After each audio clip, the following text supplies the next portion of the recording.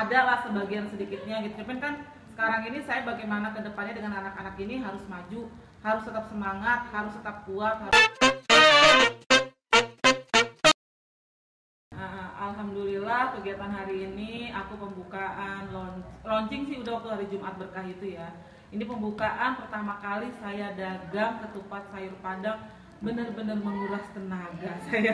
Benar-benar apa ya memang semua saya kerjakan sendiri gitu loh. Jadi uh, ini benar-benar kegiatan yang memang memang memang yang nikmat banget buat saya berkah banget buat saya gitu aja sih Bun akhirnya mungkin alasan tertentu mungkin yang membuat bunda untuk membuka menjual ketupatnya. Ah, Sebenarnya sih eh, alasannya bukan karena saya sekarang single parent.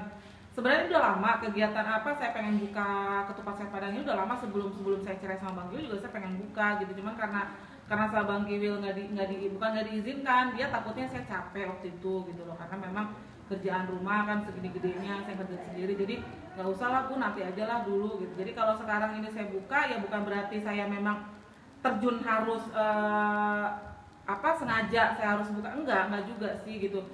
Ah, jadi pengalaman saya juga terus udah gitu juga memang kondisi saya memang harus seperti ini harus bergerak gitu loh. Saya nggak boleh nggak boleh nunggu nunggu transferan lah udah nggak udah udah nggak bo- udah udah seperti itu kayaknya buat saya ya memang sih eh, ada lah sebagian sedikitnya gitu. Cuman kan sekarang ini saya bagaimana ke depannya dengan anak-anak ini harus maju harus tetap semangat harus tetap kuat harus tetap sabar dan harus benar-benar memang saya harus kerjakan gitu